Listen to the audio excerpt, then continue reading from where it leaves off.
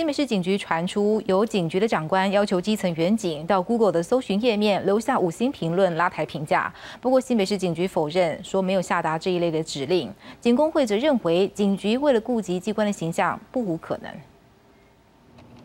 搜寻引擎打下新北市警局有超过上百则的留言，获得高达四点二颗星的好评，跟六都相比，就只输给高雄市警局。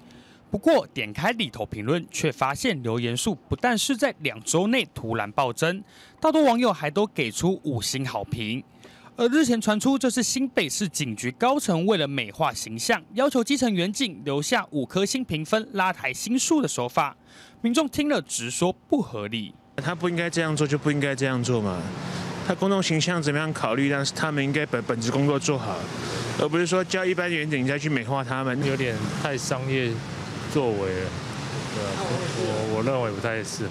针对传言，新北市警局反驳，强调警局长官绝对没有向基层下达这类指令，驳斥是假消息。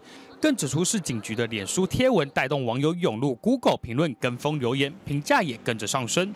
对此，警工会常务理事则提出质疑。在过去来讲，在警察在做那个宣导性业务的时候，其实确实会要求要有留言数或者是按赞分享数这样的做法，所以。其实也不可能在政策相关的宣导的时候，会有主管明示暗示要去做这样的事情。警工会表示，如果以往在执行宣导性业务时，脸书的分享人数或按赞人数数据不好看，不但影响团队伙伴，还可能让绩效间接受到影响。至于这次风波，他则认为不能排除警局高层确实有直接或间接要求警员留下五星评分，提升机关形象。记者陈冠勋、陈信龙台北新北报道。